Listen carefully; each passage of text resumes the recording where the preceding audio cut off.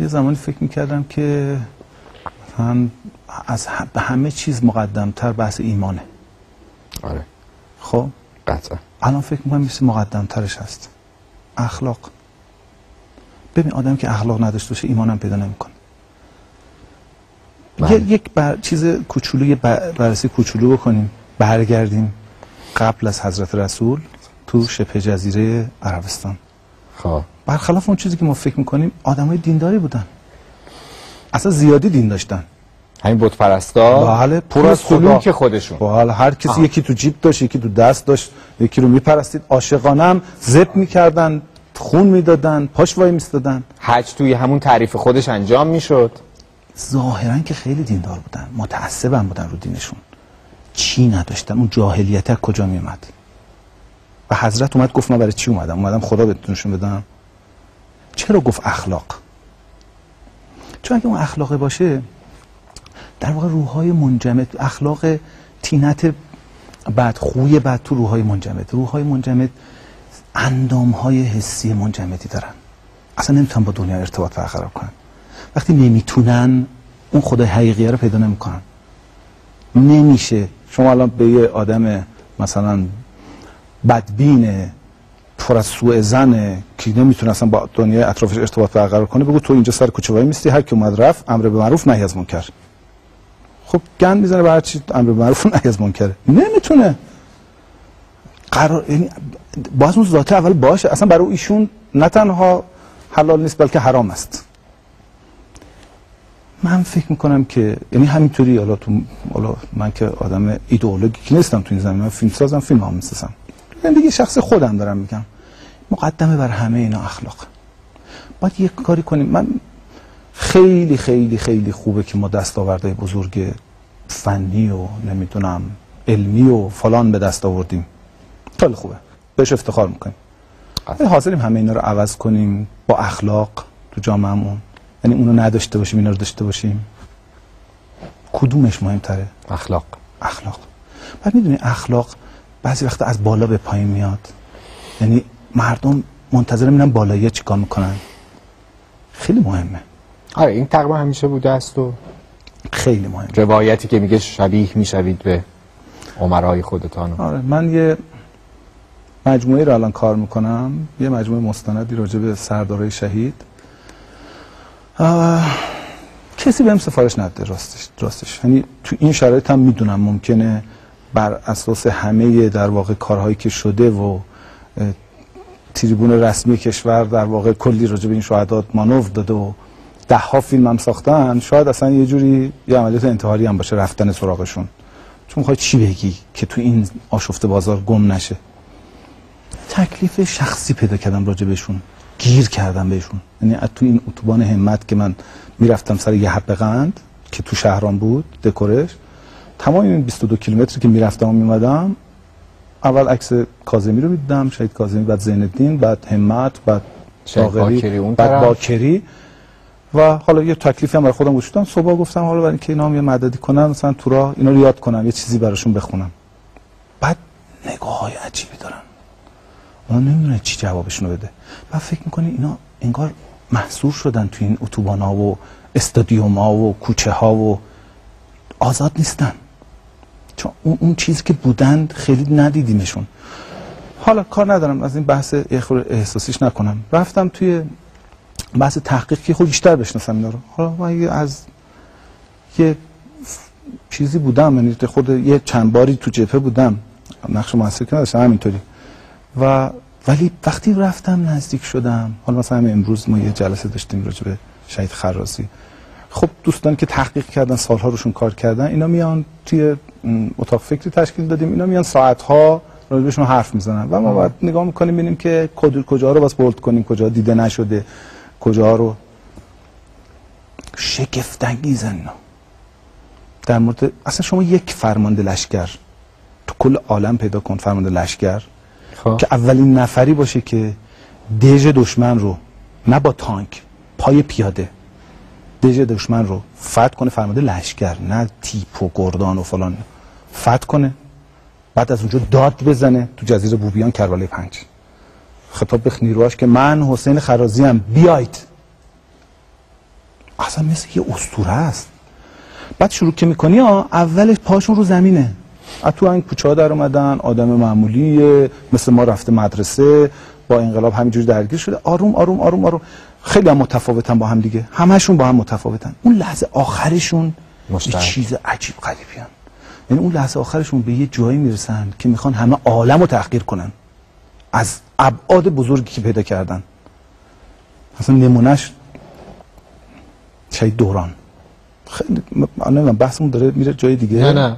من پرسیدم. تو این من من آشفتگی ها شما آروم اخلاق- چیکار می‌کنید آره، آره. گفتین خب من- اخلاق من, با اینا حال می‌کنم الان الان فکر می‌کنم مثلا توجه به اینها کشیدن اون زوایای خاموش و گفته نشدهشون که اگه انشالله بشه و انشالله انشالله بشه و اتفاق. بیفته یه خورده به این حال خوبمون شاید حالمون کمک کنه یه خورده این اخلاق رو درست کنه و مثلا شاید دوران کسیه که تربیت شده زمان شاه رفته آمریکا خلبان بوده بعد از انقلاب تصفیه شده سریال چرا پخش میشه الان جمعه؟ نه نه اون شاید بابایی. شهید بابا آخ بله شهید راست. بله بله بله درست. تصویهش می‌کنن. دوباره میاد جنگ میشه میاد اصرار می‌کنه میاد سر که آقا من لازمه من باید باشم. بیشتر بس. از همه پرواز می‌کنه. گوش می‌کنی؟ خیلی هم تظاهرات مذهبی زیاد نداره. نمازش می‌خونه روزش می‌گیره ولی حتی تو نوشتهاش هست که دلخوره از کسایی که تظاهرات مذهبی زیاد دارن و اومدن تو ارتش دارن مزاحمت ایجاد می‌کنن. گوش می‌کنی؟ ولی پای یه اتفاق بزرگ که میفته که صدام میگه من می‌خوام کنفرانس سران اسلامی بذارم. این بغدادم. چند تا لایه پدافند از هر نوعش گذاشتم. امنترین آسمون دنیا رو داریم. پرنده نمی‌تونه بره که ما ازش مطلع نباشیم. بلند میشه میره اونجا. تو راه هم متوجه میشه که عملیات لو رفته. بر نمی‌کرده از همین پدافند رد میشه. همراهش رو میگه اجکت کن بپر. و خودش تنها بالای اون آسمون پالاشگاه می‌زنه تحقیرشون می‌کنه. اون بالا احتمالا میگه منم عباس دوران مثل خرازی که بالا اون. منم عباس دوران خیلی بزرگتر از این حرفام که الان از این از این موقعیت. به مثل قهرمان اسطوره‌ای. ما چرا از سراغ این؟ مثلا یاد شاهنامه میفتم یاد مثلا سیاوش که با اسبش میره تو آتیش. اون میره تحقیر کنه. میره دنیا رو تحقیر کنه. از نتیجه کار مطمئنه. مثل رستم خرازی رستم که می‌زنه به سپاه. اصلا براش مهم نیست چند نفرن. میره توشون. الان دارین این کار می‌کنین. الان دارم روی این کار می‌کنم. چون فکر می‌کنین که محصور شدن شناخته نشدن دیده نشدن حضور ندارن فهمیده نشدن. چون فکر می‌کنم که داره ازشون سوء استفاده هم میشه متاسفانه. ما داریم از جلو عکسشون رد میشیم. بذار یه خاطره بگم. بگی. که پیدا کردم. خب. مال من نیست. سرداره جنگ. بلند میشن همت و باکری و خیلی ها. بعد از عملیات رمضان احتمالا. میرن میان تهران قوم مثلا پیش علما پیش مقامات که گزارش بدن ما چیکار کردیم. یه نفرم به نمایندگی که یکی از بزرگان از در واقع سردارا رو نقشه توضیح میده ما اینجا بردیم اینجا حمله کردیم پیروز شدیم اینجا اینقدر اسیر گرفتیم اینجا شکست خوردیم. و اینقدر تلفات دادیم. اولین جلسه که میرن اون بزرگ حالا عالمی بوده میگه که آقا مراقب باشین شکست نخورین جوانای مردم امانتن دست شما. اصلا راجع به اون پیروزی حرف نمی‌زنه. فقط شکسته رو میگه. یه خود سرخورده میشن. میرن جلسه بعدی باز اون آقا بلند میشه صحبت کردن. میگه اینجا پیروز شدیم اینجا پیروز شدیم اینجا اون شکسته رو نمیگه. وقتی میشینه همت دستشو می‌گیره. میگه این آغاز یه انحرافه. ما حق نداریم شکست رو نگیم. بگم من نمی‌دونم. بعضی که از این اتوبان همت رد میشن. همینایی که به بهانه مسلحت دروغ رو عرفیش کردن تو جامعه ما. چجوری روشون میشه تو چشمای همت نگاه کنن؟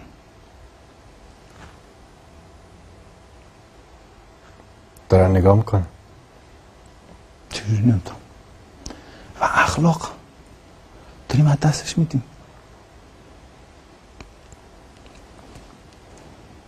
من آدم نیستم خیلی دنبال مقصر بگردم ولی این که داره من دست میدیم یعنی چی؟ کی کجا و چیکار کنیم؟ ببین- این که تحقیق عذرخواهی می‌کنم یعنی فرمایش می‌خوام می‌خوای یه نق با یه سه دقیقه من چیز میدی وقت میدی؟ بیشتر از می‌خوام یه خورده راجع به اینکه چرا؟ اصلا من الان مشکلم الان گفتیم راجع به رسانه. مشکل من تیزر نیست اصلا. از من پخش نکنید. مشکلمون یه خورده مبنایی تر تو نظام رسانه‌ایمون ببین یه قصه تعریف کنم. چونه؟ یه ملتی انقلاب کردن. کلی بحران. خب؟ جنگ شد. خب. جنگ با خودش یه ملزوماتی میاره. به رسانه حکم می‌کنه که این اخبار بدو نگو. راجع به پیروزی حرف بزن. مردم رو تهییج کن. چون ق... کسی وقتی جنگ شروع شد هیچ کس فکر نمی‌کرد طول بکشه. هم فکر کن دو ماه سه ماه تموم میشه.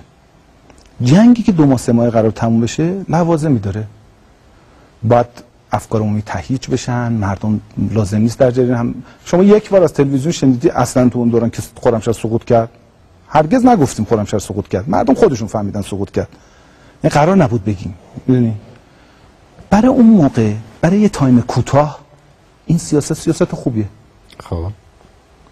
بعد که فهمیدیم جنگ طولانی شد چرا این سیاست رو ادامه دادیم؟ فکر نکردیم این عوارضی داره؟ ما وقتی چیزی از مردم پنهان می‌کنیم رابطمون با مردم قطع میشه. فکر نکنیم مردم فکر می‌کنن که انقلاب مال دولته. دیگه ما هم بریم رو دنبال زندگیمون. مشارکت مردمی چرا جنگ؟ حالا تازه جنگ چون با حیثیت و تمامیت هویت مردم سر کار داشت مردم بالاخره گوششون بده کار نشد اومدن. ولی مشارکت کم شد. این سیاست تا امروز ادامه داره. یا تبدیل به عادت شد که من حالا خوشبینانش میگم اینه. بدبینانش اینه که یه عده خوششون اومد. گفتن اینجوری ناکار ناکارآمدیمون پنهان میمونه نمی‌دونم مقدس میشیم. هر تحلیلی بخوایم قاطی اخبارمون می‌کنیم به جای خبر میدیم به مردم. اصلا فکر نکردن که خب اینطوری فاصله میفته بین مردم ما. ما داریم دروغ تحویل میدیم بعضی وقتا. و مردم می‌دونن چی راسته. فکر می‌کنیم که اونا قدرت و شعور تشخیص و درک و آنالیز مثلا این مسائل و مشکلات رو ندارن. ما این که عقب میمونیم. درست این که دارم میگم آغازی انحرافه همت اون موقع که آغازی انحرافه. ما حق نداریم اینطوری عمل کنیم. شاید همت مچ ما رو گرفت؟ ما دستمون رو کشیدیم دوباره گفتیم نه. دستمون کشیدیم. نه این که شما میگی اونا این که میگم. اخلاق از بالا میاد چون نظام رسانی ما حق نداره اینجوری برخورد کنه. شما اخبار رو گوش کنید. اخبار خودمون رو. من اصلا نیومده بودم نقد تلویزیون کنم ها یه یه باز یه خاطره بگم. حالا آقای میرکریمی که تو نقد فیلماشون میگن که حالا مثلا مثل همین یا قبلی مثلا خودشون شما گفتین پیرنگ معمول قصه ای آنچنان که مثلا تو کتاب های فیلم نام نویسی هست خب بعضی فیلم ها ندارن. مدام میشه داره خاطر و قصه میگه. خوبه. ببین من یه دوره المپیک یونان بود. هم تو اخباری که باز می‌کردم هر شب اخبار خودمون. خب. بعد اولش مدالا رو می‌گفت. بعد اخبار شروع می‌شد. چون رسیده بود به؟ مرحله خوبی. ایران ایران؟ ایران ایران, ایران. تلویزیون ایران؟ به المپیک؟ راجع به المپیک یونان. خب. بعد اول چون رسیده بود مدال روزهای آخر نه ایران که نه نه. دیگران؟ در واقع در واقع این rating مدالا رو می‌گفت. دیگه. اول چون المپیک رویداد مهمی بود بعد اخبار شروع می‌شد. روزهای آخر المپیک. خب. آمریکا رکورددار بود. می‌دونی چی جوری می‌گفت اخبار ما؟ من اول فکر کردم من دارم اشتباه می‌کنم. بعد چند روز که گوش کردم دیدم همیشه میگه ایالات متحده اینقدر مدال گرفت. اصلا نمیگه آمریکا.